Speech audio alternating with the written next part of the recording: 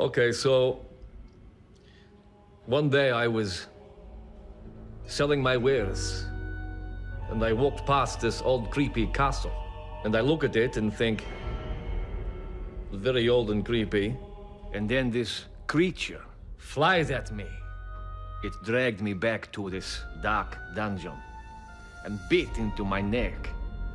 And just at the point of death, this creature forced me to suck its foul blood. And then it opened its wings like this and hovered above me, screeching. Ah! now you are vampire. And it was Peter. And we're still friends today.